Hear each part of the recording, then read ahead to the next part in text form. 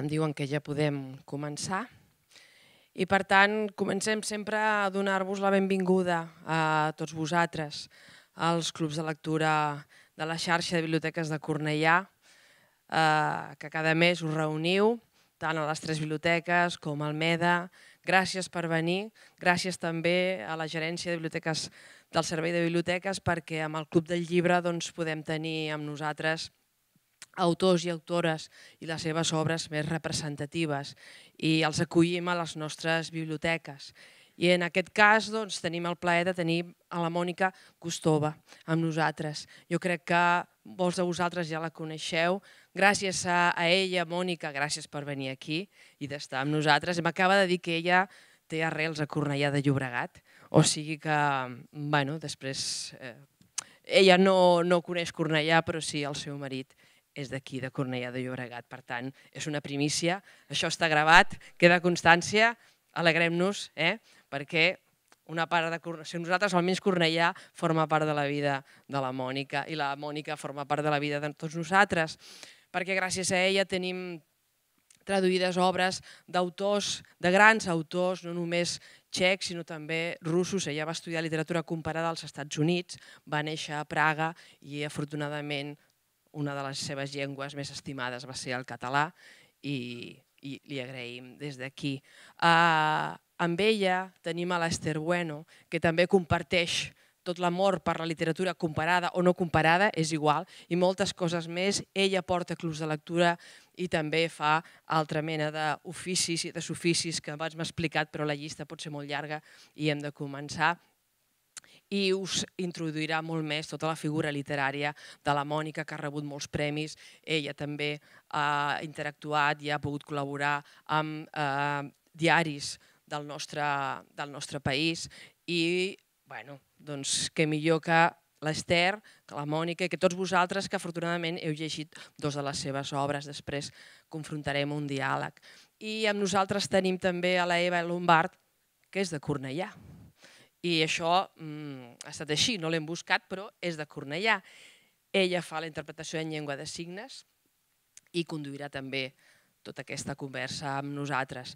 Uh, allà fora tenim Abacus amb una selecció de les obres de la Mònica per si després de tota aquest, aquesta trobada i d'aquest diàleg entre vosaltres, la Mònica, l'Ester, doncs us ve de gust eh, ampliar la vostra lectura amb els altres títols de la Mònica. Benvinguts, benvingudes, benvinguda Mònica, Esther, i bé, comencem. Gràcies. Gràcies.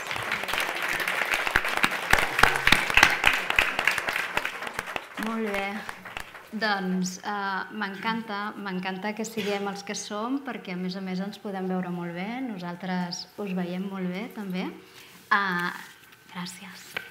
Uh, la Mònica, com deia la Nati, eh, ha traduït, ha escrit, eh, té diversos premis. Si no, si no recordo malament, el darrer premi que t'han atorgat és el Premi Càlamo? Sí. És, va, és l'últim, sí. És l'últim, sí, sí, no? Sí. Ah, pel llibre... Eh, a veure... Vestides per a un ball a la neu. Exacte, que és un llibre que també l'he vist que el tenen a la biblioteca, per tant, també el podríeu llegir i el podríeu agafar si volguéssiu. Aquest és el darrer premi, però té una llarga trajectòria de premis com a escriptora. Uh, la Mònica és escriptora, traductora, articulista, uh, té moltes vessants. Um, els llibres que hem llegit, els llibres que heu llegit, tenen de taló de fons la primavera de Praga.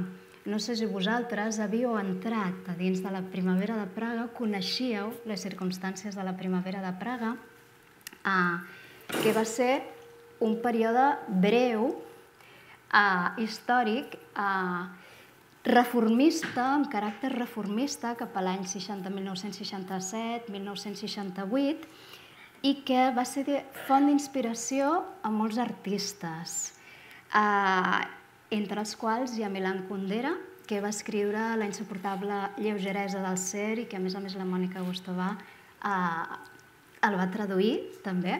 A Milan Kundera es va basar en aquells fets. I, Bé, La dona silenciosa i Jardí d'hivern eh, tenen com a escenari de fons la primavera de Praga. Eh, són fets que, que la Mònica va viure, ho sé perquè també he llegit la seva biografia, de ben petita i, i, i els va viure fins que va marxar no? de, de Praga i que segurament eh, et devien impactar i que encara deus, i que devia estar, és la teva història i que deus tenir en el teu ADN més personal. Um, amb la distància en el temps d'aquests esdeveniments i tenint en compte que, que la, la memòria de vegades ens traeix, um, quins són els teus records d'aquells esdeveniments? Clar, jo era una nena i mm, aleshores no, tenia, no puc tenir els mateixos records que, que, si, que una persona que, que ho va viure de gran. No? Eh, jo recordo al llarg de la dècada dels 60, que és quan, bueno, jo, això, jo era una nena que, um, que a mitjans dels 60 més o menys vaig començar a anar a l'escola i això. I aleshores després um, vaig veure debats a casa meva, als meus pares, amb els seus amics, que feien el debat sobre els llibres que es publicaven en aquella època, que era com tot un trencament amb el que hi havia abans. Perquè a, a la dècada dels 50 i els primers anys dels 60 hi havia un totalitarisme comunista molt fort, eh, que encara perdurava de l'època de Stalin, i eh, aleshores, més o menys a, la, a partir del 63, es va, va començar a canviar. La primera senyal d'això va ser eh, un congrés sobre mm, Franz Kafka, que es mm. va fer a Praga eh, aquest any, el, el 63, i eh, de seguida després es va desencadenar tot un moviment cultural molt fort, com tu has començat a dir, eh, que era d'escriptors com Bohumil Harabal. Um, i, altre, i el mateix Kundera, que en aquella dècada va escriure La broma.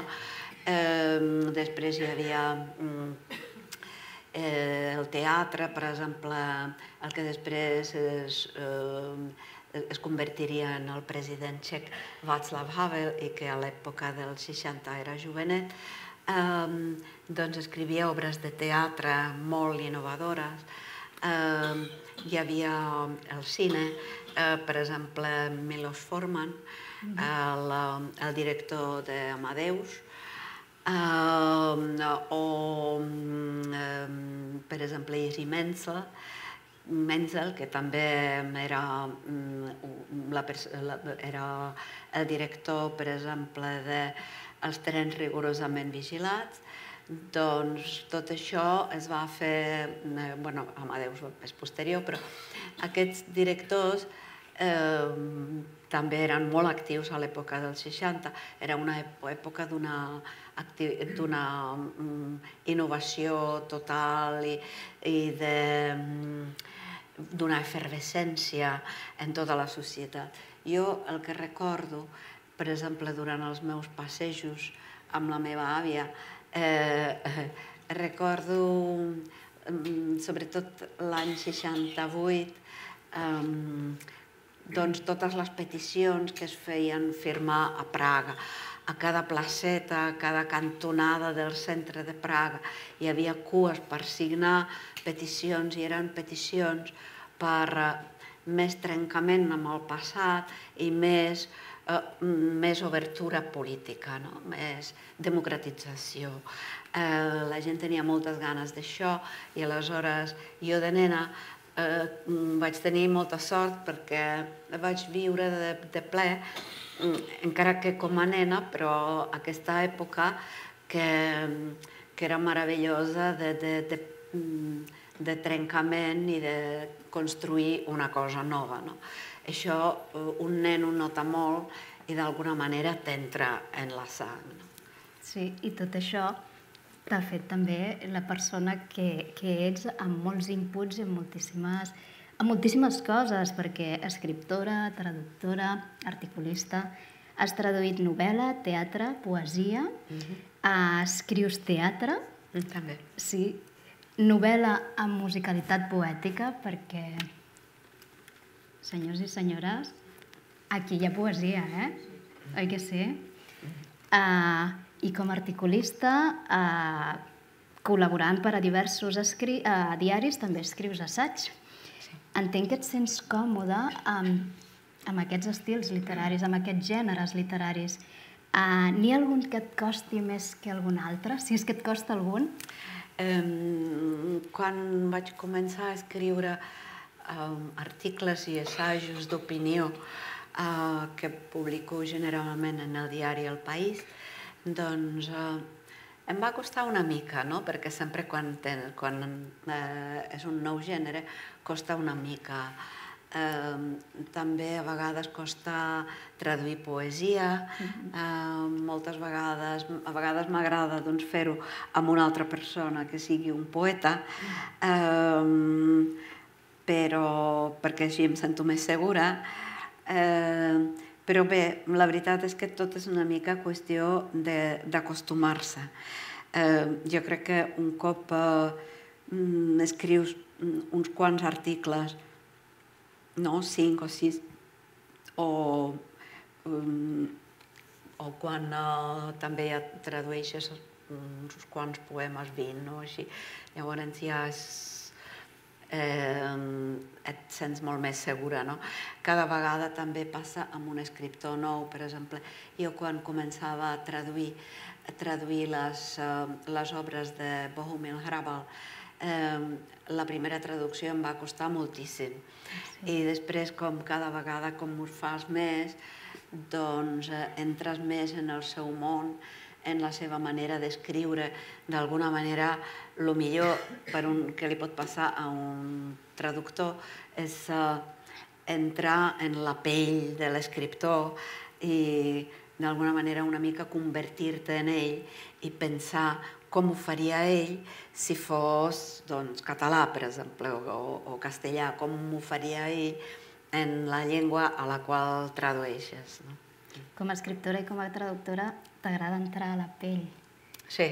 Per una altra pregunta que després et faré. Sí, com a escriptora, clar, jo crec que cada llibre té la seva, sí. la seva dificultat.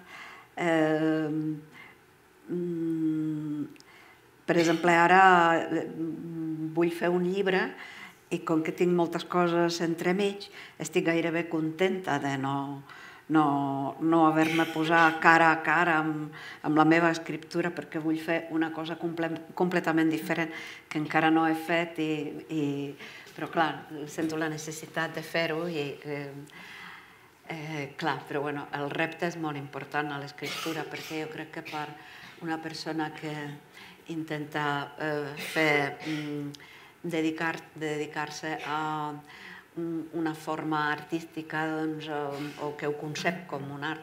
Aleshores, eh, mm, és molt important anar canviant, anar canviant cada, quasi cada vegada que fas, eh, o sigui que no, eh, no fer sempre el mateix, la cosa amb la qual has tingut èxit, sinó anar una mica més enllà de tu mateix. Canviar de registres t'enriqueix també, no? També. Perquè no només perquè t'acostumes també a escriure dins d'un registre, sí. sinó perquè el fet de tocar altres registres també enriqueix els registres que vas tocant. Clar, clar, perquè clar. tot suma, no? Sí, sí, sí, totalment. Sí. sí. Uh, gràcies a les teves traductors hem pogut llegir, perdó, com deia, com ens explicava la directora, la Nati, a literatura russa, txeca, amb noms com Dostoyevsky, Chekhov, soc una enamorada de Chekhov, també t'ho he de dir, a Kundera, Václav Havel, um, que és aquest escriptor que, uh, aquest escriptor que comentaves abans, uh, sí. que va arribar a ser uh, president. president. Sí. Exacte. Um, com a escriptora txeca que va haver de marxar del seu país, uh, què creus que has absorbit de, de, de, de, d'aquests escriptors, de, de tots mhm. els que has uh, traduït? Um, a veure, um, jo quan vaig marxar de, de Txèquia era joveneta, tenia 16 anys i mai m'havia plantejat de ser escriptora en aquella època, no? I uh, ara, um, sí, diguem-ne que sóc txeca de llengua materna, però um, però bueno, no ho sóc del tot, no? Diguem-ne que hi ha també altres cultures que han entrat en joc. I, uh, i, i clar, mm, eh, vaja, no és... Mm, sí, o sigui que hi ha diverses, diverses cultures, llengües, eh, tradicions que he adoptat com meves, no? Però sí és veritat, eh, això que dius, que els escriptors que he traduït doncs, tenen molt de pes en lo que eh, en la pròpia eh, creació. Clar, eh, jo crec que de tot s'ha agafat alguna cosa i sobretot els, els dos o tres que he traduït més, que són Havel, Havel no? i el seu sentit de l'humor eh, una mica abstracte, kafkià, eh, Kundera i Harabal, Harabal amb la seva vena poètica. Jo crec, jo crec que tot això d'alguna manera ha entrat en els meus llibres. Però també, clar, els meus llibres són diferents, cadascun, són, cadascú és, és diferent de l'altre. I aquests dos jo crec que sí que són dos llibres molt ben triats per anar junts perquè eh, formen eh, com una seqüència. Eh, sí, després en podem parlar. Sí. sí. Uh, parles de l'exili, no? I aquest és un tema que, que, també, tra... que també veieu, no? Heu vist també en els llibres que, que hem estat llegint. Um, I el fill de Silva uh, diu que, no sé si ho recordeu, diu que no se sent d'enlloc. Quan s'és a l'exili no et sents d'enlloc. Sí. Um, en el teu cas, uh, com ho vius? Et sents d'algun lloc o, en qualsevol cas, d'on et sents i com que has estat vivint realment a diversos llocs, què és el que t'ha aportat cada lloc que forma part de tu? Mm -hmm. Una pregunta molt difícil, eh? la veritat, però bueno, està bé. Uh, els reptes estan molt bé. Um, Eh, la veritat és que com parcialment, lingüísticament i de tradició literària sí que em sento molt de l'Europa central, eh, precisament per lo que hem estat parlant abans, d'haver traduït uns certs escriptors. Això pesa molt en el bon sentit de la paraula. És molt enriquidor i jo clarament em sento d'aquella tradició eh, i a vegades doncs, rellegeixo aquells escriptors. Eh, ara, eh, sí que em passa una mica el que el fill de la Silva, que no ets d'enlloc, però al mateix temps ets de cada lloc eh, on estàs estat, ara mateix. No? no? O sigui que si ara estic aquí entre vosaltres, eh, doncs em sento d'aquí. Eh, però, per exemple, vaig passar el mes passat a Nova York i em sentia molt d'allà i molt identificada amb Nova York i, i com molt disposada a viure allà perquè, de fet, l'anglès és la meva segona llengua. No? El català i castellà són com la tercera llengua. No? I, uh, clar, o sigui que um, és una mica això, que un mm, d'una banda se sent com de tots els llocs on està i on parla la llengua i on ha viscut a algun lloc, perquè jo vaig estudiar als Estats Units, no? o sigui que també és una mica la meva cultura. I, um, eh, però clar, també això vol dir que sí que potser no ets d'enlloc realment i no estàs molt arrelada en un sol lloc, no?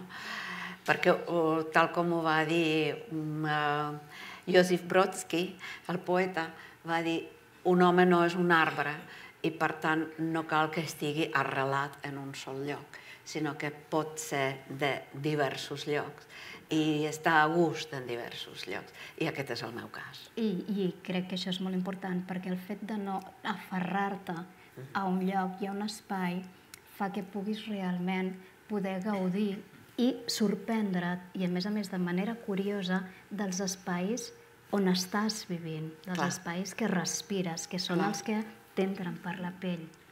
Sí, és que és així, perquè, per exemple, el Jardí d'hivern va néixer, de fet, d'una eh, d'un passeig meu per Praga, per la meva mm. ciutat natal, que és Praga, i jo anava passejant pels barris antics de Praga i pel castell i tot això, i de cop i volta eh, em vaig adonar que la ciutat m'omplia de poesia i de pensaments que anava apuntant ràpidament. Mm, vaja, va ser un moment d'aquests com que un se sent ple d'alguns missatges, no? I, uh, i sí, sí, això, doncs, això em va passar a Praga i sense aquell passeig potser no hauria nascut mai Jardí d'hivern. Uh -huh. O sigui que són, a vegades són casualitats d'aquestes. D'aquí un temps mirarem a veure si la Mònica ha fet algun llibre passejant per Cornellà Sí. A veure què és el que Cornellà li ha, li ha portat per escriure Exacte. alguna cosa. També podria ser perquè, com, com s'ha dit abans, que jo tinc com parcialment unes, unes arrels aquí, no? A través de, eh, a través dels meus sogres i això. Clar. I aquí anem a un tema més tècnic, no? Mm -hmm. um, com enfoques una novel·la? Uh, a partir dels personatges, a partir del tema, com, com decideixes crear-la? És que no tinc una sola recepta, la veritat. Eh? Potser alguna vegada, potser a través d'un personatge. Això va ser el cas de La dona silenciosa, que mm, de fet jo tenia una àvia que era la, una de les persones que més m'ha influït en la meva vida i que va tenir una vida una mica semblant a la Silva, que va, mm, va néixer en un castell i després, a través de la, de la, dels entrebancs de la història, va anar baixant de categoria, per dir-ho d'alguna manera, fins que va acabar en un barri perifèric de Praga. No? Però no per això era menys feliç. I això em va fascinar en la meva àvia, que ella, eh, ella era una persona tan forta que, mm, tot i que la vida l'hagués maltractat bastant, eh, i que mm, al final el seu fill se'n va anar, que era el meu pare, se'n va anar a l'exili, eh, la meva mare, la meva àvia era una persona que sabia ser feliç amb ella mateixa i malgrat tot. O sigui que aquesta fortalesa em va semblar que havia de, que s'havia d'escriure una novel·la no és exactament sobre ella, però està basat en, aquest, en alguns fets de la vida de la, de la meva àvia. No? Eh, sigui que jo crec que eh, per exemple, jardí d'hivern no és el mateix cas. Jardí d'hivern, com ja he dit, eh, la primera cosa va haver mm, que va haver-hi era Praga, els seus carrers, el seu ambient, i la Praga que jo també vaig viure a través d'alguns dissidents, eh, sigui que és la Praga de, eh, de les últimes dècades eh, del segle XX i una novel·la que va fins i tot al, gairebé fins als nostres dies. Um, clar, allà mm, potser la primera idea no eren els protagonistes, això va venir després. Um, I eh, els protagonistes van néixer d'una anècdota que em va explicar una amiga meva, que també és txeca, i que em va explicar què li va passar a una amiga seva que tenia un marit i un amant, un trio, i, uh, i aleshores, bueno, és el que després tenim en el llibre, mm -hmm. molt canviat, però la, la idea d'entrada eh, va ser aquesta. Però ja dic, la primera idea de tot va ser la Praga, la, la, la Praga de diferents èpoques, mm, sobretot eh, la Praga del totalitarisme i de, eh, dels dissidents i després el pas que va donar després de la democràcia, com ho va poder viure la gent. No? Que jo tenia diferents eh, ho vaig poder veure en la gent, com, com experimentava aquest pas d'una època a una altra, que això és molt dur per a, eh, per a la vida d'una persona. No? Uh -huh. O sigui que, vaja, aquestes són més o menys les, les idees de les quals mm, poden néixer els llibres, eh, però generalment jo crec que sempre, les, eh, sempre he escrit sobre dones, eh, i eh, dones que viuen en unes èpoques adverses i eh, com viuen aquestes èpoques adverses, eh, com cadascuna d'elles pot arribar a, a desenvolupar-se en aquestes èpoques, perquè veiem, per exemple, que, que la Silva de, de la dona silenciosa ho porta d'una manera absolutament diferent que l'Eva de eh, Jardí d'hivern. No? Després tenim en les novel·les posteriors aquestes, eh, tenim per exemple la Vàlia, de la nit de Vàlia, eh, una dona molt forta que, eh, que la van portar al Gulag i que va sobreviure al Gulag i que està basada en, una, en un personatge real que vaig conèixer quan feia entrevistes sobre dones super, supervivents del Gulag, que des, sobre les quals després vaig escriure el llibre Vestides per a un ball a la neu. No? O també em va cridar l'atenció la, eh, la filla de Stalin, Svetlana, eh, em va cridar l'atenció tant que vaig decidir escriure una, dedicar-li una novel·la, no? escriure una novel·la sobre ella. A vegades em pregunten per què no una biografia. Per mi devia de ser una novel·la perquè eh, tenia ganes d'entrar directament en la pell d'ella, d'aquell personatge tan eh, valent i tan desgraciat alhora i mogut per tantes passions diverses, no? Mm, o sigui que bé, mm, mira, eh, mm, no sé, molts estímuls diferents, oi? Mm -hmm. Sí, eh, en el cas de Jardí d'hivern i la dona silenciosa, és com tu deies, no? Uh, mostres creuament d'èpoques, són còctels, són, són, són còctels d'esdeveniments, no? I això fa que els personatges uh, transitin per diversos moments però no només els personatges, és la història qui transita per diversos moments. Uh, en el cas d'aquestes novel·les, a mi no m'agrada posar etiquetes. D'entrada, no m'agrada posar etiquetes, perquè això acota, però és la meva opinió.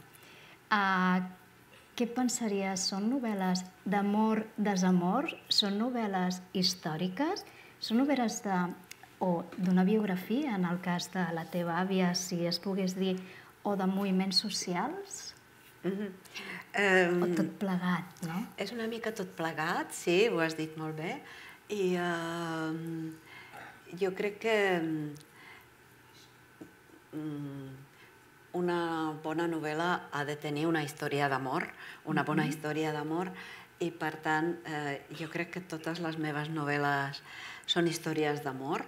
Eh, i com eh, m'interessa veure com eh, pot canviar una relació en, una, en, en diferents entorns eh, històrics, no? que generalment no vaig a una història llunyana, sinó que és una història mm, de fa unes dècades com a molt, no? Eh, generalment és al segle XX, eh, eh, i aleshores eh, m'agrada examinar com pot canviar l'individu i el seu comportament eh, quan està sotmès a diferents, eh, dif diferents entorns, diferents dificultats eh, polítiques, històriques, no? Eh, perquè, per exemple, ha, eh, això es pot veure des de diferents punts de vista. Eh, Sandor Marai no? diu que eh, les persones no canvien ni les seves relacions canvien. El que canvia és el seu entorn, però el nucli de la vida privada persisteix. No? Eh, jo ho veig que realment la història pot influir moltíssim, moltíssim una història d'amor o, o una història personal d'una dona o d'un home, no? d'un individu. I aleshores és el que a mi m'agrada examinar.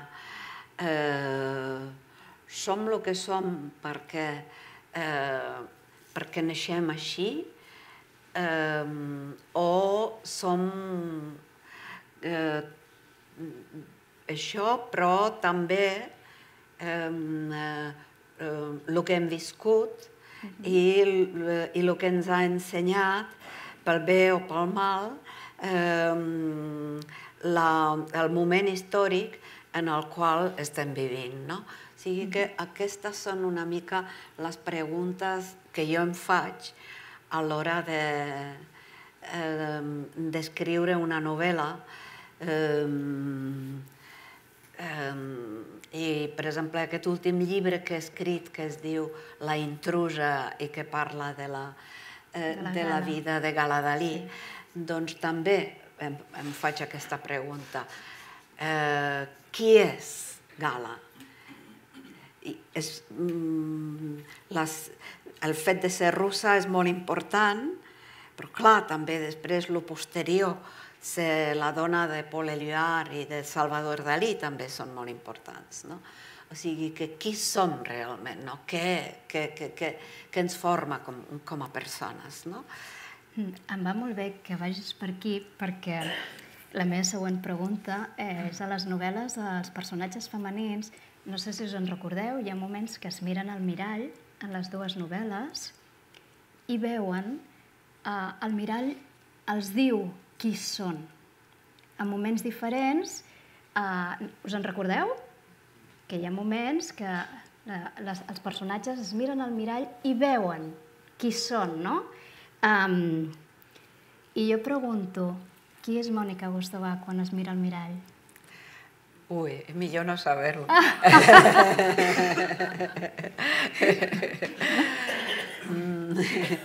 La veritat és que no ho faig des d'aquest punt de vista. bueno, no sé, clar, és que el mirall és una metàfora. Eh, sí, exacte. Clar, clar, clar, clar, clar, clar, clar. Però, bueno, precisament doncs d'això eh, vull intentar escriure una nova novel·la, si és que serà novel·la, eh, perquè voldria escriure una mica sobre la meva vida i la vida de la meva mare, eh, com entre idiomes i entre diferents cultures, perquè la meva mare viu als Estats Units i, eh, i està eh, també sotmesa a diferents cultures, ha estat sotmesa a diferents cultures, no? I una mica sobre això, doncs jo crec que el mirall me'l posaré quan, quan acabi les feines que ara tinc pel mig i, eh, i el que, el que he dit abans, que de moment és com sé que ho he de fer, però com molta, molta il·lusió no em fa perquè és una cosa completament nova i clar, estàs de cara a cara amb tu mateixa, però clar, sempre puc fugir de mi mateixa i escriure més sobre la meva mare. Sí, perquè quan un escriu també escriu sobre el que té a dins, no? Sí, això és veritat, que la veritat és que eh, generalment, aquí tens tota la raó, que eh, jo crec que totes les dones sobre les que he escrit tenen alguna cosa de mi mateixa mm. i que m'han cridat l'atenció perquè o tenen directament alguna cosa de mi o eh, jo voldria ser com elles, no? com és el cas de la Silva, que m'agradaria doncs, una persona que ho perd tot i que està absolutament sola mm -hmm. i que no s'ensorra, sinó que disfruta realment dels petits moments de la vida i disfruta fins i tot de la lletjor, no? Mm. I la converteix en poesia. Eh, Clar, per exemple, doncs, quan vaig escriure les roses de Stalin, eh, doncs em va cridar l'atenció que la filla de Stalin, eh, eh, de fet, eh, fugís del seu país a través de la Índia, on va prendre la consciència de que també hi ha un altre món fora de la Unió Soviètica, que és un món de la llibertat, i aleshores decideix anar-se'n als Estats Units. No? Perquè és, un, és aquest camí que van fer els meus pares. Els meus pares se'n van anar als Estats Units a través de la Índia i van portar-nos els fills amb ells. No? O sigui que, clar, era una mica em veia com emmirallada amb el camí que va fer aquesta Svetlana uh -huh. i, i clar, eh, sense plantejar-t'ho o plantejant-ho potser, eh, fins a un cert punt, estàs comparant-te eh, i el teu, el teu propi exili, el fet de viure en diferents cultures, ho compares amb com, com ho vius tu, ho compares amb com ho va viure ella, quines van ser les seves il·lusions, eh, desil·lusions, eh, tot això. O sigui que, clar, eh, evidentment, la personalitat de l'escriptor jo crec que entra molt, eh, a vegades d'una manera indirecta i a vegades d'una manera més directa, depenent de l'escriptor, no? Perquè, per exemple, a l'obra de Chekhov hi ha moltíssimes vegades eh, els protagonistes són metges i ell era metge, no? Eh, I clar, eh, a l'obra de Kundera eh, molts homes són faldillers. Per tant, entenem que ho era? Sí, sí, sí, sí. sí. Sí, clar, són coses, coses d'aquestes. Sí. Araval directament escriu sobre, moltes vegades sobre si mateix, perquè s'examina a si mateix. -hmm. no? eh, jo crec que els escriptors, si tenim aquesta necessitat d'escriure sempre, eh, és perquè d'alguna manera és com una mena d'autoexamen i eh, que, que ens fem i que de fet no necessitem després anar a psiquiatres ni res d'això perquè ens aclarim les idees a través de l'escriptura. Els artistes, no? En sí. realitat, sí. és com els actors, tu has escrit teatre, els actors... Sí. Eh, o sigui, ningú no és dolent o bo, tots ho som, tots ho tenim, tots tenim moments de dolenteria, moments de bondat, i en, i en aquesta línia hi ha molts grisos, que els grisos és un color com qualsevol altre, però que forma part de nosaltres mateixos. En el cas de l'escriptor, el fet com a artista, i, i el que tenen molts artistes és que realment poden treure tots aquests tons, totes aquestes tonalitats de colors fins i tot també el blanc i el negre, no? i els posen al servei de, de la pàgina o al servei de l'escenari o, o, o, o de la pintura, no? en aquest cas. Totalment, totalment. Sí. I, gràcies de parlar, mm, gràcies per parlar de lo dels, de les zones grises i de, d'aquests protagonistes que no són ni del tot bons ni del, del tot dolents. Això és molt important perquè a mi a vegades em pregunten, eh, sobretot eh, en el context de la dona silenciosa, però què era, bona o dolenta? Sí. Però si era bona, i per què fa aquestes dolenteries, no? Però clar, és que si ens examinem a nosaltres mateixos, cosa que costa molt, potser més val que examinem els nostres amics, el nostre entorn, llavors veurem coses bones i moltes de dolentes també, tot i que volem veure potser més les bones, però també les dolentes si són, i, i, és que, i si no les veiem és que no les volem veure, eh, ens les tapem, eh? Perquè les tenim, eh? Les tenim, Tots les té- les té tothom, I tots som som molt humans. bondadosos, també, eh? Sí, sí, Tots sí, sí. Jo m'imagino que fins i tot la mare Teresa no? devia de tenir doncs, Segur. algunes uh, unes, facetes, unes facetes i unes altres. Sí, sí, sí. Uh, Karel, uh, un dels protagonistes de, no sé si el teniu identificat, del Jardí d'hivern, en una carta que se li adreça a, la, a Eva, es submergeix en els clàssics, com parla de la poètica d'Aristòtel, i després parla de, de, per després llegir Dostoyevsky, Chekhov, Tolstoi, um, torno una mica a reivindico la teva cultura, la te, els teus estudis també. Eh, quan tu t'has de submergir amb els clàssics, quins són els teus referents? Eh, realment eh, són, jo crec que Dostoyevsky ho és molt, eh? Uh -huh. Mm, Dostoyevsky sempre m'ha agradat moltíssim i... Eh, eh, Aquells que rellegeixes i tornes a agafar. Sí, i... sí, sí, sí, sí. També Tolstoi m'agrada molt, sobretot Anna Karenina, m'agrada, és un, també un llibre de capçalera. Eh, Chekhov tot, M'encanta. tot, tot. Les obres de teatre, però també els contes i les narracions llargues que no són tan conegudes. És que tot Chekhov és meravellós per mi. Sigui que ell m'ha ensenyat molt, eh?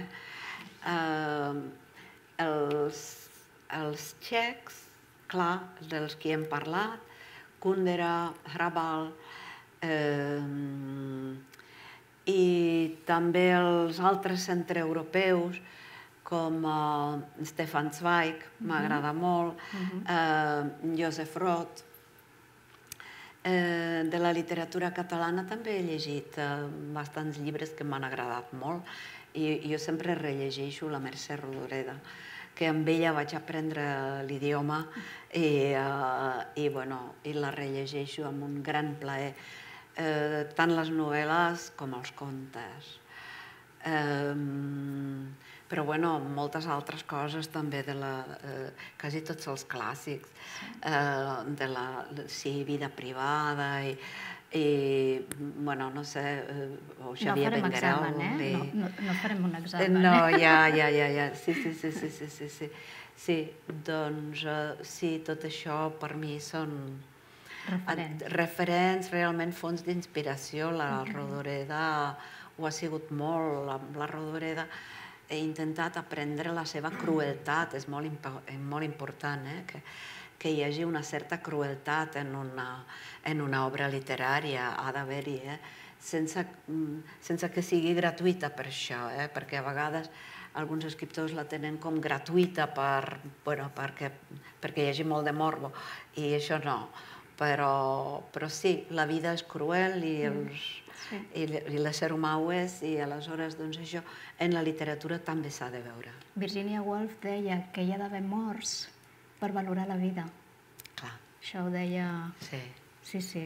està molt bé, sí, sí, sí. Més sí, el que sí, tu sí. deies, no? Hi ha d'haver crueltat també per valorar altres coses que no ho són. Clar, clar, Sí. clar, clar, clar, sí, sí. A, a les teves novel·les, en aquestes dues, si més no, que són les que estem parlant, incorpores altres disciplines artístiques. La música, sí. uh, jo no em conec tota la música que has posat, Ah. no me la conec, uh, i la pintura, en el Sí. cas de la dona silenciosa. sí. Uh, hi ha un moment que Karel diu a Jardí d'hivern, diu, si no hi ha partitures, cal compondre-les. Uh -huh. I jo pregunto, uh, per què no hem de viure sense literatura?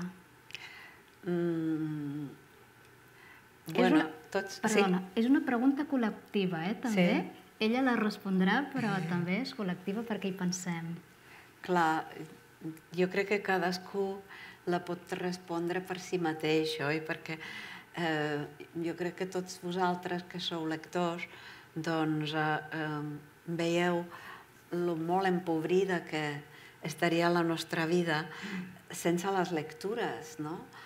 Perquè jo, per exemple, quan acabo una novel·la que m'ha agradat, estic trista que haig d'abandonar aquells protagonistes, no?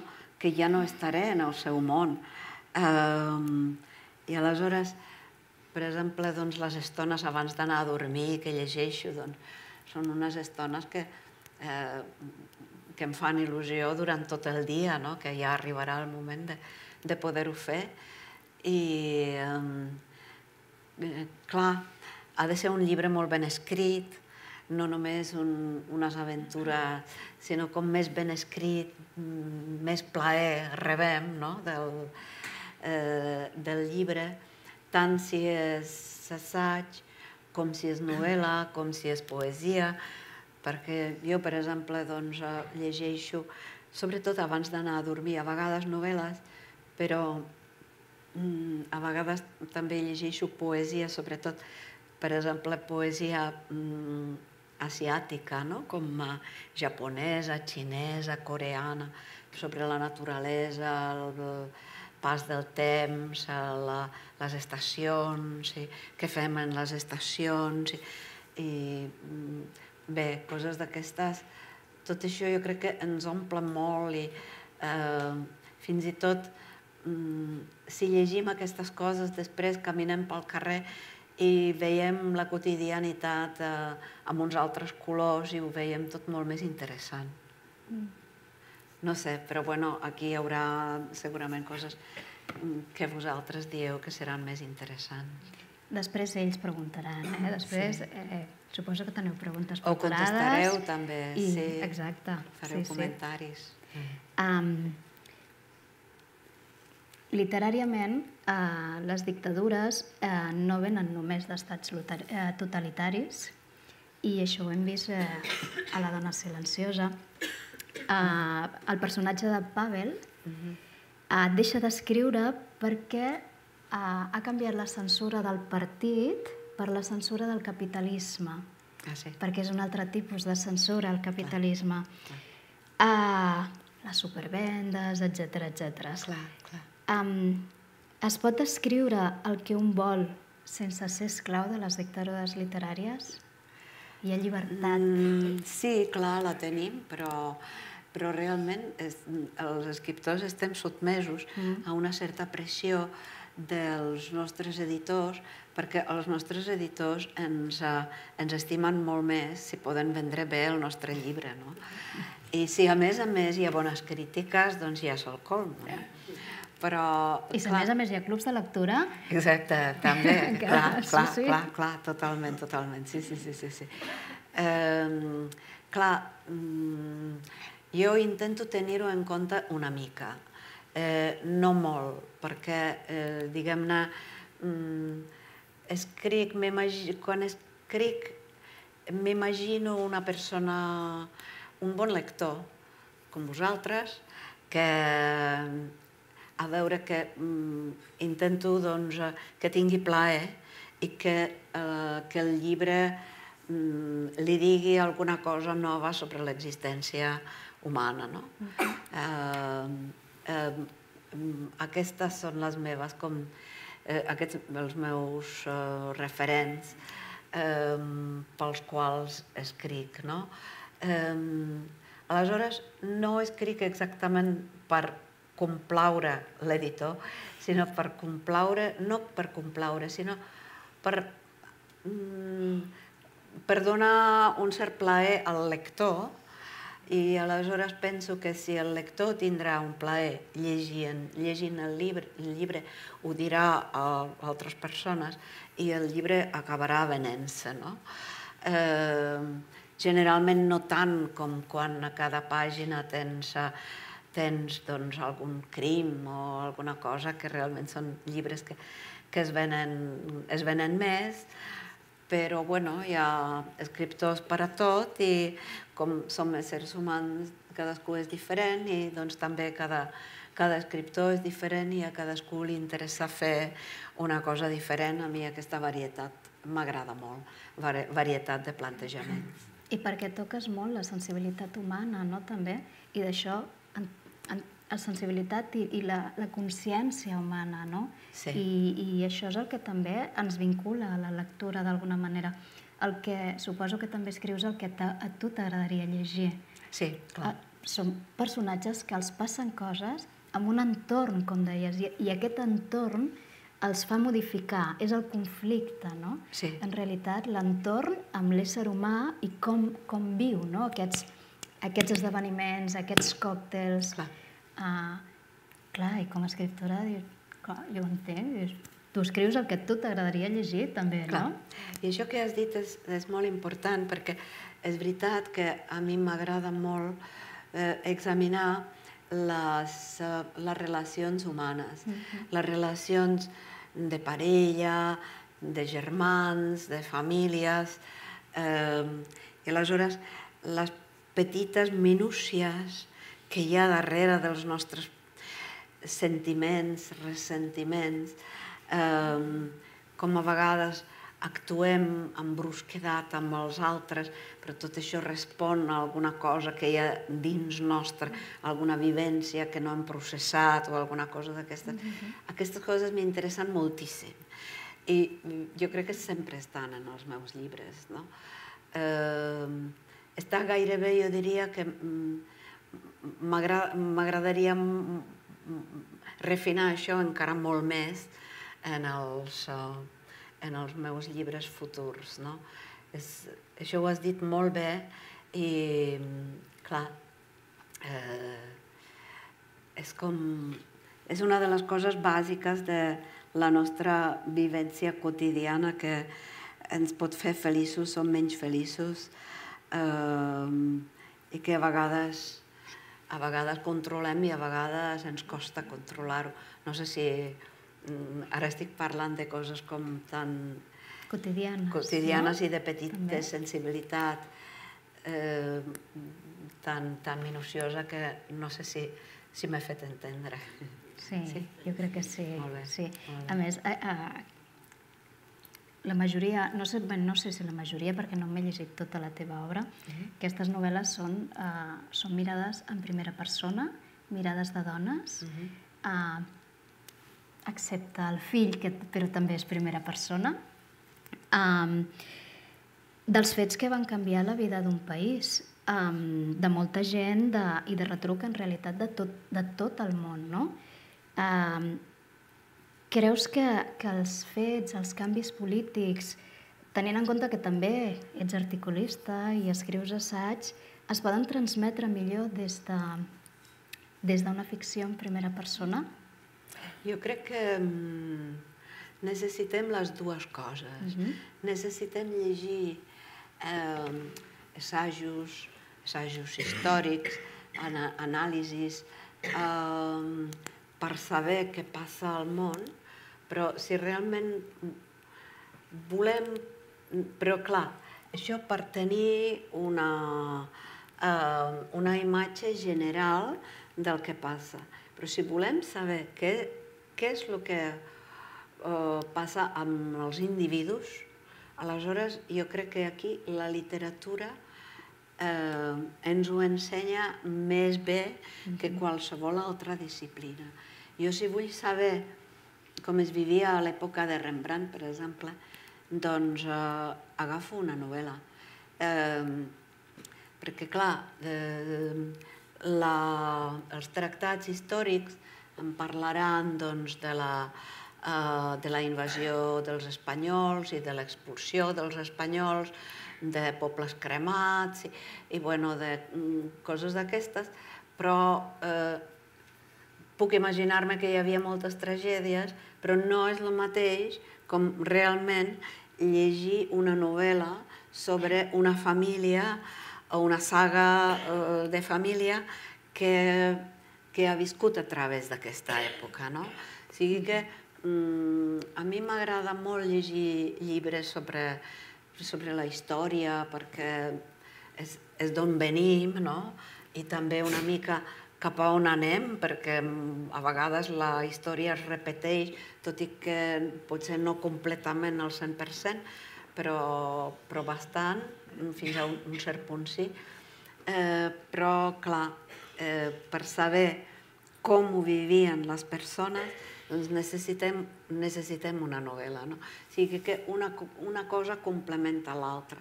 A vegades la gent em diu, eh, i com més gran es fa la gent més diuen, jo ja no, no llegeixo novel·les. Llavors, i què llegeixen? Eh, eh, diuen que llegeixen mm, això, tractats d'història mm. i coses així. Però clar, és només tenir informació. Això és per informar-te. Mm -hmm. Però, per exemple, per exercir la teva sensibilitat necessites una novel·la. Sí. Eh? I per entendre com és, com som els éssers humans, com som... Eh, com, com són els nostres veïns, els nostres germans, és que necessitem les novel·les perquè ens ho, eh, les novel·les ens ho expliquen, ens ho expliquen millor de lo que podem nosaltres veure amb, amb la realitat. Ens ho expliquen molt bé. Sobretot les bones novel·les, els clàssics i tot això. Sí. sí? És fantàstic escoltar-te, eh? eh? De veritat, no sé si a vosaltres us està passant. Uh, jo tinc més preguntes encara. Tinc moltes preguntes, però també eh, m'agradaria que vosaltres preguntéssiu, segur que en teniu alguna, si no jo tiro, eh? Però, però segur que en teniu de preparades algunes. Què et sembla, Mònica, si donem la paraula? Em sembla fantàstic, sí, Ens sí. Ens podeu sí. pujar una mica llum de... Gràcies. Ara ens pujaran el llum de sala una mica i així, tot i que us veiem molt bé perquè, sí. perquè estàvem molt a prop i, sí. i us sentíem molt a prop també, sí. um, com ho veieu? Teniu alguna pregunta? És fred, jo ja sé que és... Aquí. Mira, aquí. Bueno, per trencar una mica el gel, eh? Gràcies. Uh, I perquè m'interessa molt, també. Uh, et vull felicitar perquè he percebut com que encara, després de tota aquesta trajectòria, que tant que has fet, tant has escrit, tinc la sensació que encara estàs com aprenent, que vols continuar aprenent, que et planteges reptes, no? i et vull felicitar per això. No?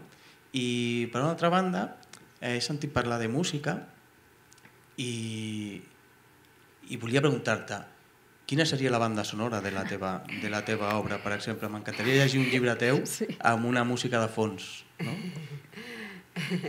I la tenia, eh? Sí. Um, doncs la música de fons, segons, segons quin llibre, no? Perquè, per exemple, els llibres que escric sobre, eh, que he escrit sobre um, sobre les persones que, que han sobreviscut al Gulag, doncs a lo millor podria ser doncs, un quartet de Shostakovich, no?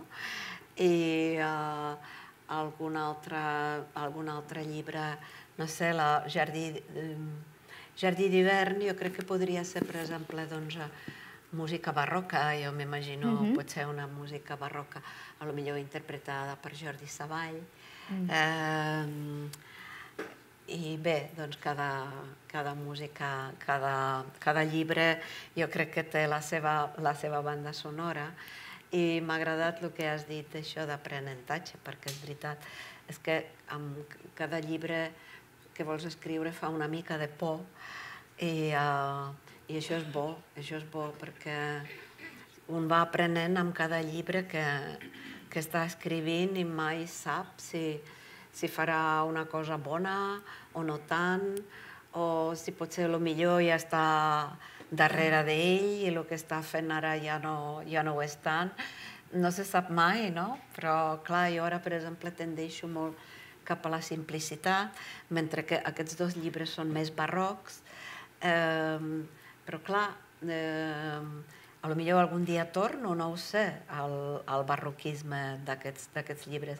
Però, vaja, mm, una miqueta haig d'anar cap allà, cap a on eh, penso que, que he d'anar, no? que, que el que em surt realment de la ploma. No? Què més? Vinga, va, animeu-vos. No, jo pregunto. Gràcies. També per... Ja està.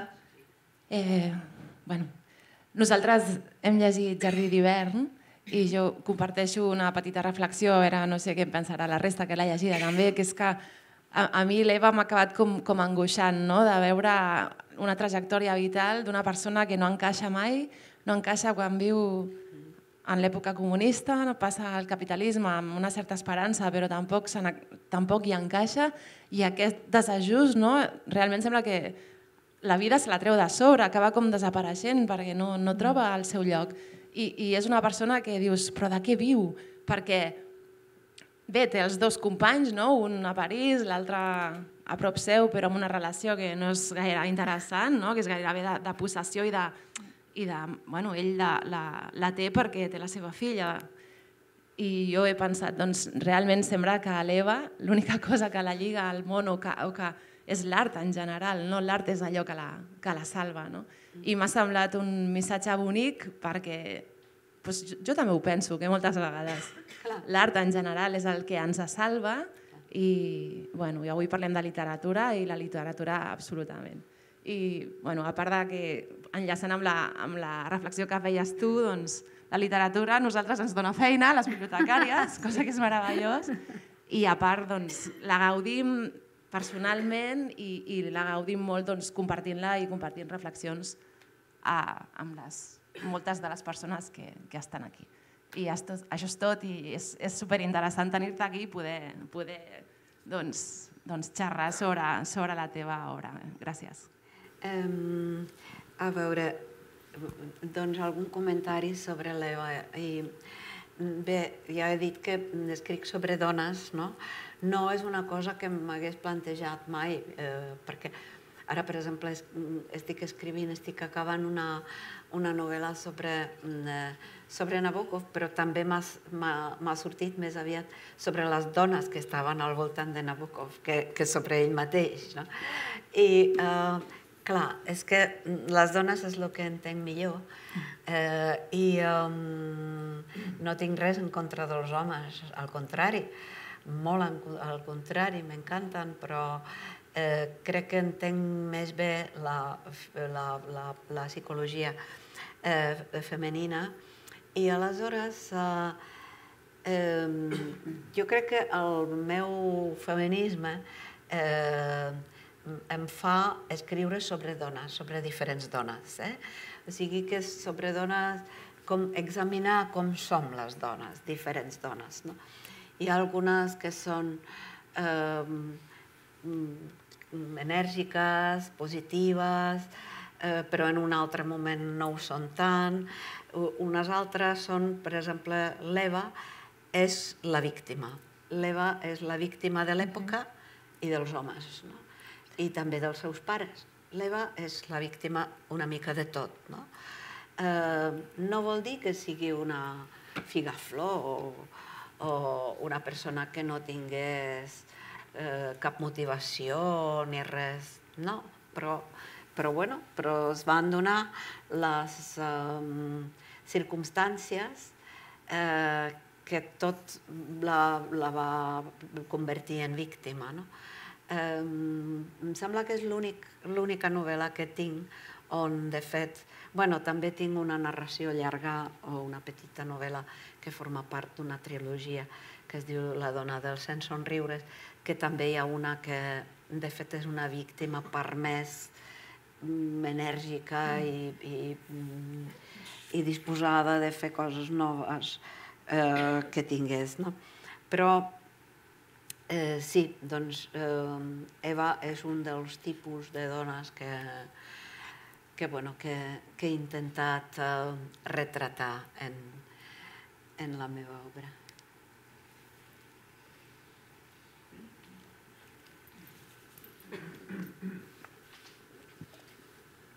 Jo he llegit amb, amb molt d'interès, com jo veig l'estructura com una, una novel·la molt suau, molt poètica, i, que, i de cop i volta al cap al, al final, bum, surt un, que, que és la, té una filla amb el Milan i tot això, i llavors ens trasbalsa completament, no? I llavors ja, ja s'acaba de seguir de la novel·la, no? Això és, és, és volgut, això, això de, de crear doncs, aquesta atmosfera mm, suau, poètica, eh, melancòlica, això, i al final un cop fort, així. Sí, la veritat és que sí, perquè eh, si mm, tota la novel·la hagués estat totalment suau, al final hauria estat com una mena de, de poema en prosa. Eh? Eh, aleshores, però jo, a mi m'interessava aquí més fer com una novel·la poètica que no pas un poema en prosa. Aleshores, eh, li vaig donar tot aquest dramatisme al final eh, perquè realment fos una novel·la eh,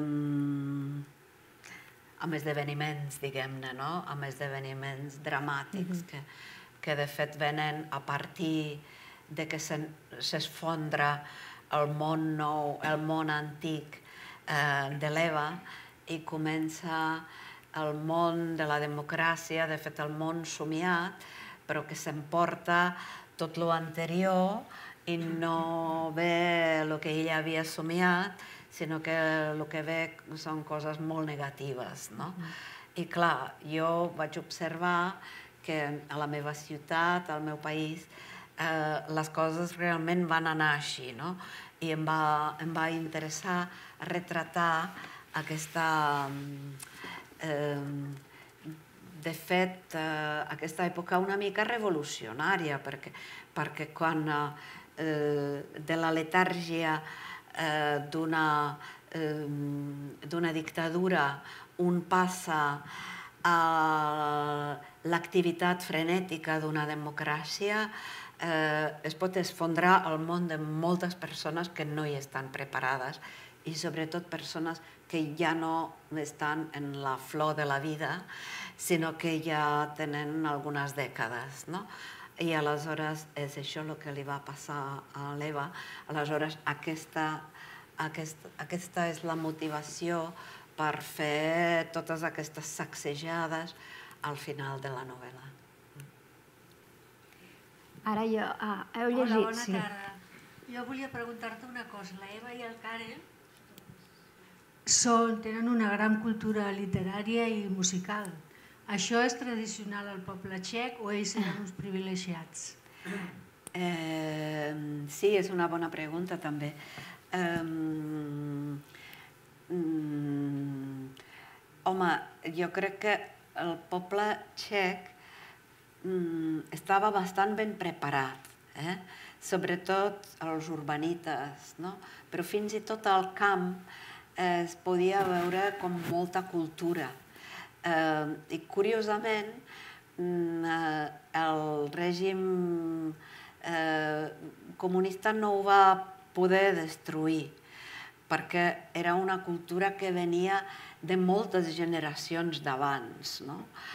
Eh, I la veritat és que es va començar a destruir més amb l'arribada de la democràcia que també va aportar eh, un capitalisme desenfrenat i, eh, i, i, i com molta accentuació sobre tot el que és el mercat i, i molta gent no va poder viure en aquestes, de cop i volta amb aquestes, aquestes condicions. No?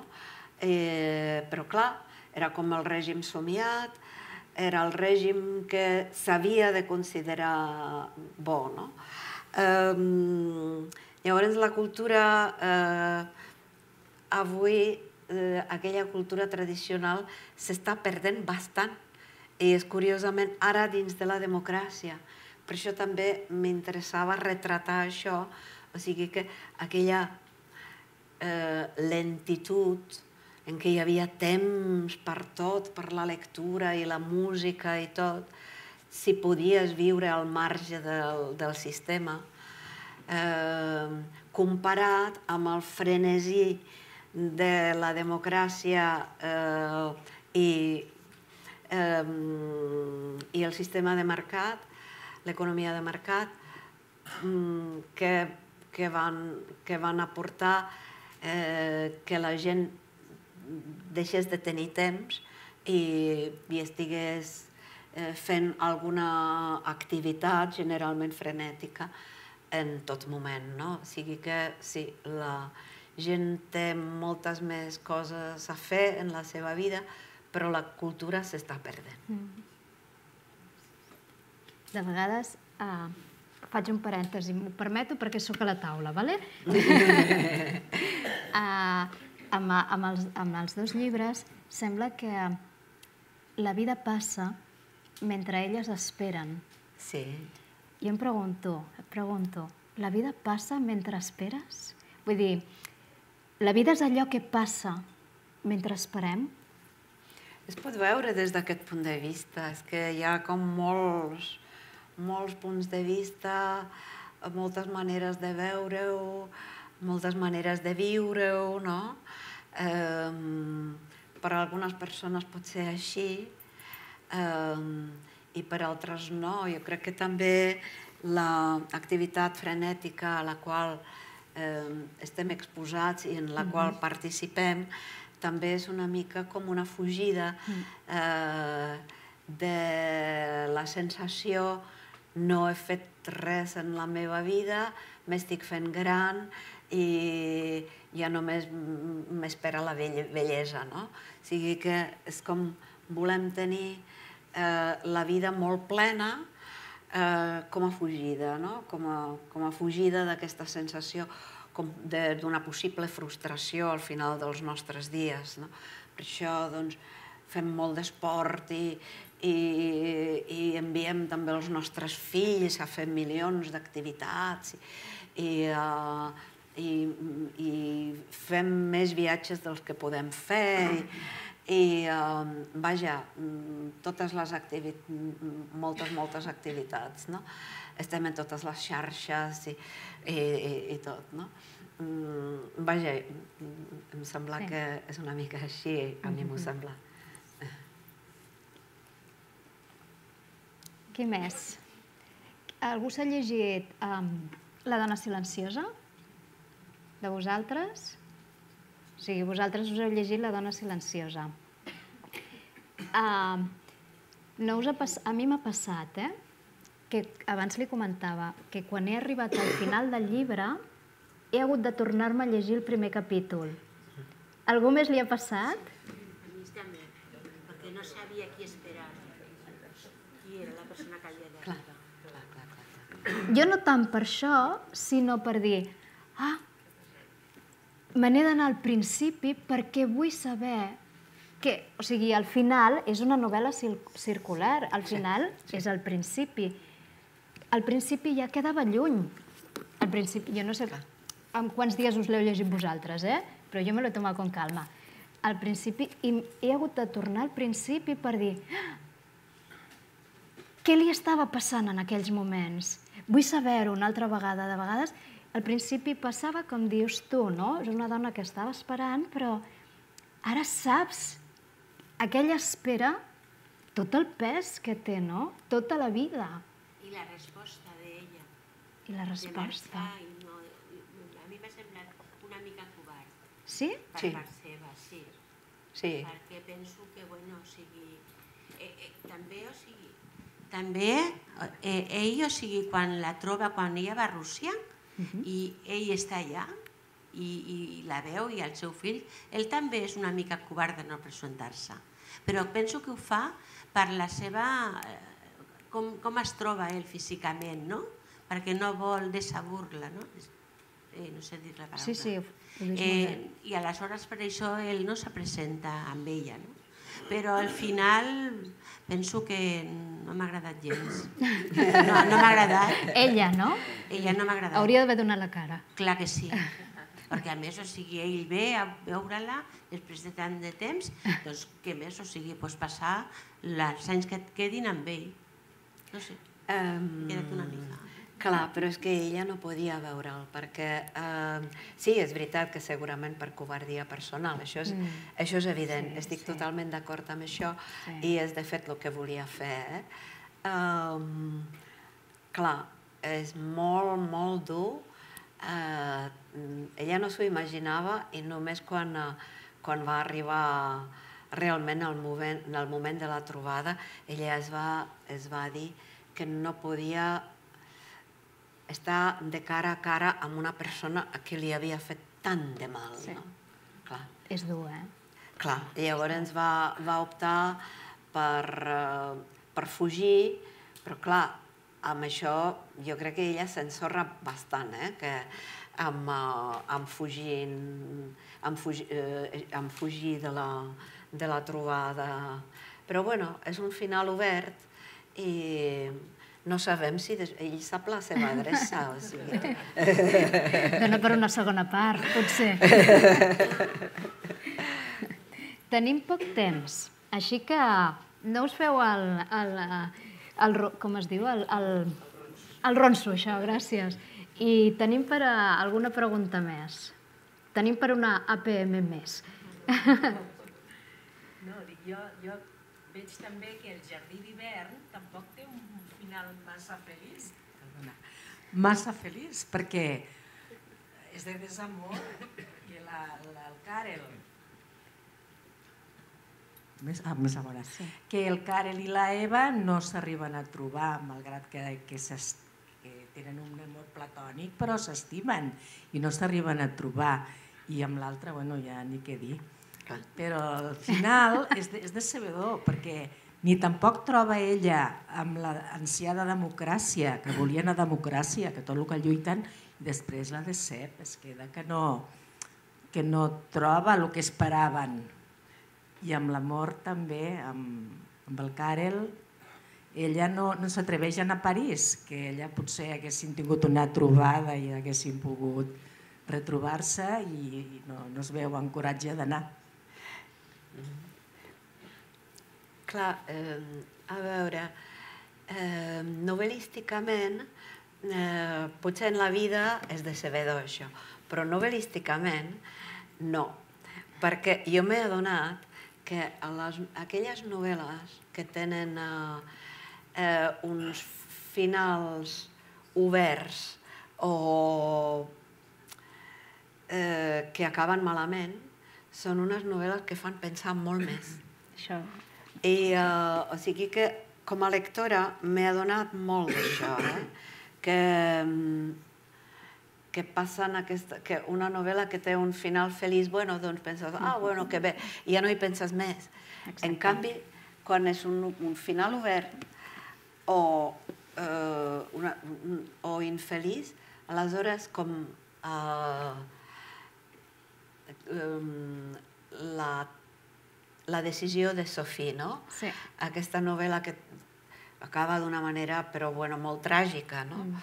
Doncs eh, eh, mm, jo crec que les és, és important que tinguem una altra vegada tragèdies en la, en la literatura, perquè en la vida hi ha molta tragèdia, eh, en la literatura hi ha molta, eh, molta eh, tradició de tragèdia i, eh, per tant, jo crec que mm, eh, aquest, això no s'ha de perdre. I aleshores jo, per exemple, doncs, la dona silenciosa me la vaig plantejar com una tragèdia que eh, pas per pas es va desenvolupant tal com es veu en les tragèdies gregues, que, que cada pas és com que no pots anar enrere, que ja ha passat una cosa que no hi ha, no hi ha marxa enrere i que cada vegada hi ha com més i més i més coses que, que, que fan que només pot haver-hi un final tràgic. No? Aleshores, eh, si volem entendre la dona silenciosa com que aquells dos no es veuen mai més, és una tragèdia. Si ho volem en entendre com un final mm, obert, que potser sí, que generalment els lectors no ho veuen així, eh? eh llavors no tant.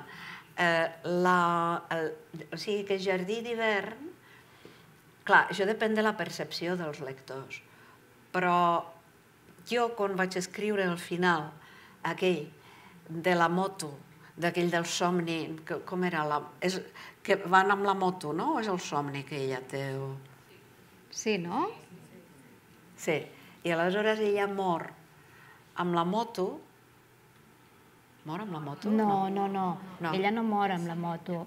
És el, és el pensament, exacte, és el que pensament que morint. té. Que ella s'està morint, exacte. Exacte, exacte. Ella s'està morint i està recordant aquell moment a la moto que era, bueno, el moment més feliç de la seva vida. Uh -huh. Era el més meravellós quan estava mm, enamorada, estava en la plenitud. Sí. I tot era, tot era fantàstic. I aleshores és una mort meravellosa, meravellosa. La vida ja no tenia res més a donar-li a l'Eva. O sigui que ella està allà revivint això i és quan es mor. Jo voldria tenir una mort així, no sí. ara, eh? però, però, eh, però d'aquí unes dècades sí, ostres. Eh? O sigui que eh, jo recordo escriure això contenta, contenta, com... Ara he escrit un final feliç.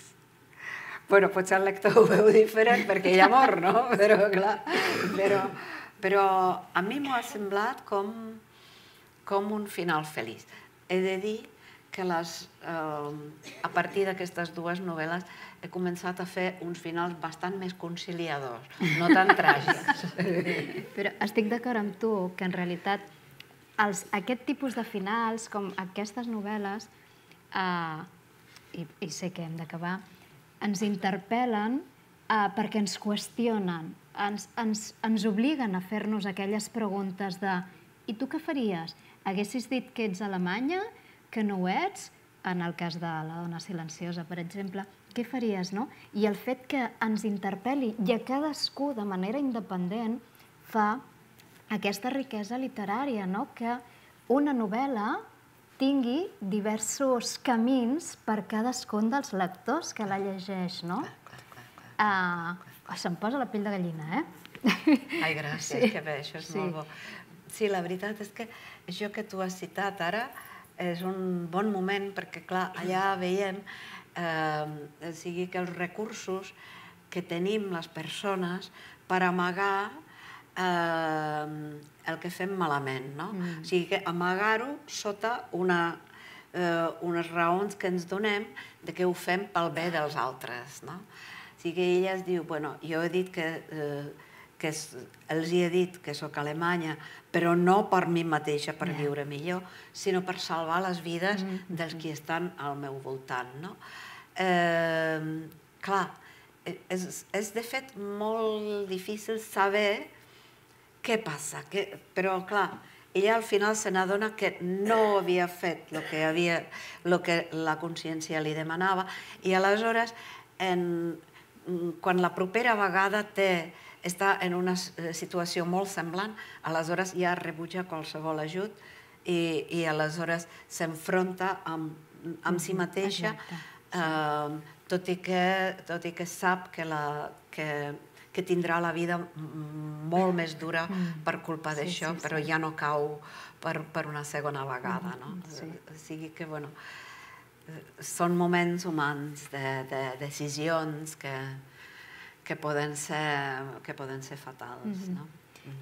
I per acabar, com això és el Club Lector, a, a mi m'agradaria que ens recomanessis un o dos llibres que a tu t'agraden, que a tu poden ser teus, eh, també, uh, que, que, que pensis, ostres, doncs a mi m'han agradat i jo us els regalo, el regalo en el sentit d'us regalo el meu, la meva prescripció lectora. Clar. Jo soc molt dolenta per això, eh? perquè si no m'ho preparo per endavant és que Ai, estic ai, com ai. una miqueta perduda. Um, però um, a mi m'ha agradat un llibre eh, que es diu... Um, uh, és de uh, Xavier Güell. Uh -huh. uh, Xavier Güell, um, que es diu la música de la memòria. I aleshores parla de diferents, eh, de diferents eh, compositors, bàsicament del segle XIX, eh, les seves vides i en quines condicions van, van compondre la seva, la seva música. Aquest llibre, eh, aquest llibre realment m'ha agradat moltíssim.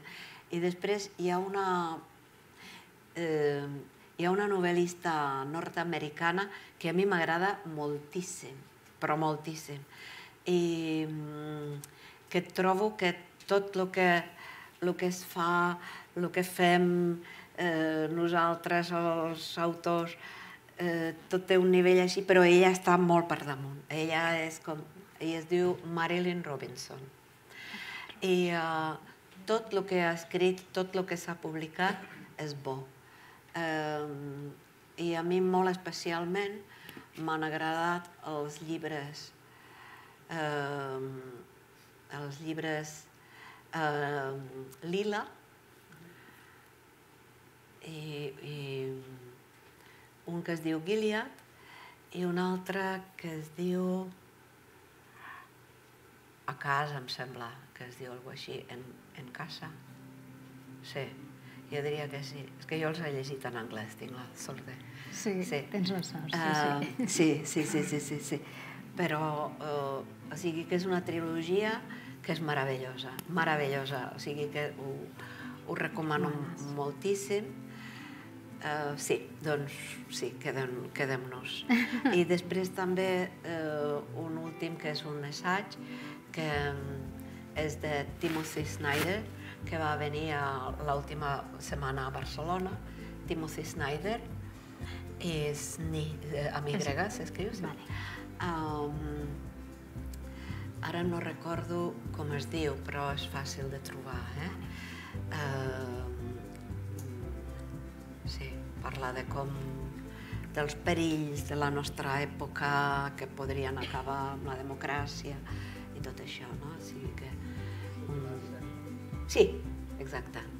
Sobre la, Ah. sobre la tirania. Sí, Santo sí, sí, sí, Google, sí, sí. santo Google. Sobre la tirania, exacte. Sobre la tirania. Sobre la tirania. Sí, sí, sí, sí, sí. tots aquests llibres. I també m'agradaria doncs, eh, dir-vos que, vaja, que estic molt contenta d'estar entre vosaltres i que, que m'ho he passat molt bé aquesta tarda aquí doncs, eh, xerrant amb vosaltres eh, sobre literatura. Ha estat un plaer, crec que per tots nosaltres ha estat un plaer. Moltíssimes gràcies per venir. Si us plau, segueix escrivint. Gràcies. uh, perquè, perquè, bueno, ens queden anys, per tant, tenim temps per seguir llegint-te i moltíssimes gràcies per estar amb nosaltres. I gràcies a vosaltres també per venir, eh?